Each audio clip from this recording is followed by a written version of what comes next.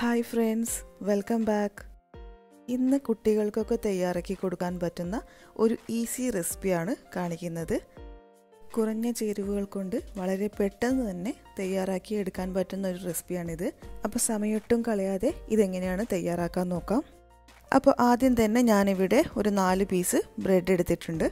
അതിലേക്ക് chocolate melt ചെയ്തത് ഒന്ന് സ്പ്രെഡ് ചെയ്ത് കൊടുക്കുക. ചോക്ലേറ്റിന് പകരം നിങ്ങൾക്ക് വേണമെങ്കിൽ ന്യൂട്ടല്ല ഉപയോഗിക്കാം പീനട്ട് ബട്ടർ ഉപയോഗിക്കാം അല്ലെങ്കിൽ പാക്കറ്റിൽ വാങ്ങാൻ കിട്ടുന്ന ചോക്ലേറ്റ്സ് ഒക്കെ ഉപയോഗിക്കാം ഡയറി മിൽക്ക് പോലുള്ള ചോക്ലേറ്റ്സ് അപ്പോൾ ഇതാ എല്ലാ ഭാഗത്തും നന്നായിട്ട് ചോക്ലേറ്റ് സ്പ്രെഡ് ചെയ്ത് കൊടുത്തിട്ടുണ്ട്.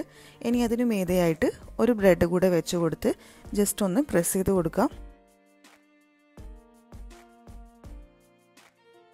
ഇതേപോലെ തന്നെ മറ്റു രണ്ട് പീസ് കൂടെ ഇങ്ങനെ ചെയ്തെടുക്കാം.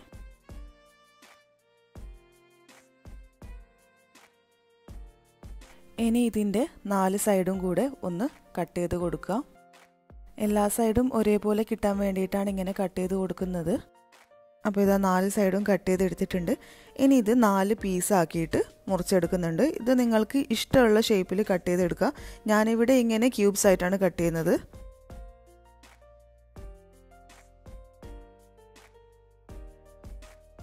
ഇനി ഒരു ബൗളിൽ മൂന്ന് മുട്ട എടുത്തിട്ടുണ്ട്. മുട്ടയുടെ അളവ് നിങ്ങൾ എത്ര ബ്രെഡ് ഉണ്ടോ അതിനനുസരിച്ചിട്ട് എടുക്കുക. ഞാനിവിടെ മൂന്ന് മുട്ട എടുത്തിട്ടുണ്ട്.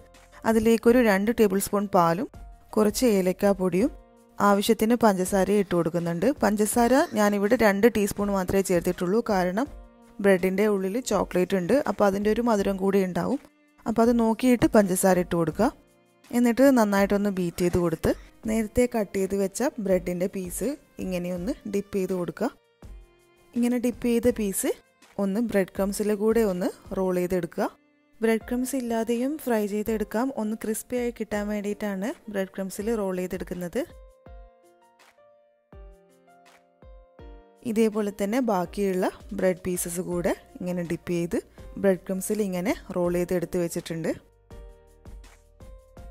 എല്ലാ സൈഡും നന്നായിട്ട് കവർ ചെയ്തിട്ടുണ്ട്. ഇനി ഇതൊരു പത്ത് മിനിറ്റ് ഫ്രിഡ്ജിൽ ഒന്ന് സെറ്റ് ആവാൻ വേണ്ടി വെക്കാം.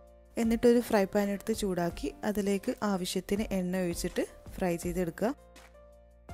ചൂടായി വരുമ്പോൾ നേരത്തെ റെഡിയാക്കി വെച്ച ബ്രെഡ് പീസസ് ഓരോന്നായിട്ട് ഇട്ട് കൊടുത്ത് മീഡിയം ഫ്ലെയിമിൽ ഫ്രൈ ചെയ്തെടുക്കാം.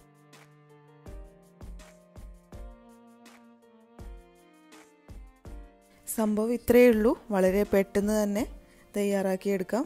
അപ്പോൾ ഇതാ ഒരു സൈഡ് ഫ്രൈ ആയി വന്നിട്ടുണ്ട്. ഇനി ഇതൊന്ന് തിരിച്ചിട്ട് കൊടുത്തിട്ട് എണ്ണയിൽ നിന്ന് എടുത്തു മാറ്റാം.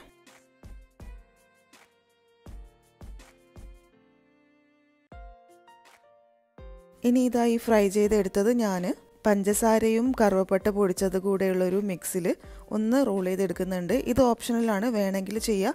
പക്ഷേ ഇങ്ങനെ ചെയ്യുമ്പോൾ നല്ല ടേസ്റ്റ് ഉണ്ട് കുറച്ച് കറുവപ്പട്ട പൊടിച്ചതും പഞ്ചസാരയും കൂടിയിട്ടുള്ളത് മിക്സാണിത്. അപ്പോൾ ഇതാ നന്നായിട്ടൊന്ന് റോൾ ചെയ്തെടുത്തിട്ടുണ്ട്. അപ്പോൾ നമ്മുടെ ടേസ്റ്റി ആയിട്ടുള്ള സ്നാക്ക് ഇവിടെ റെഡി ആയിട്ടുണ്ട്.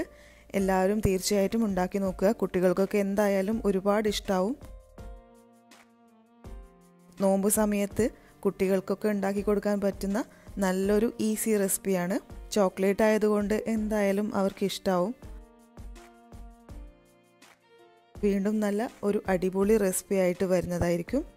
അതുവരേക്കും താങ്ക് യു. ബൈ.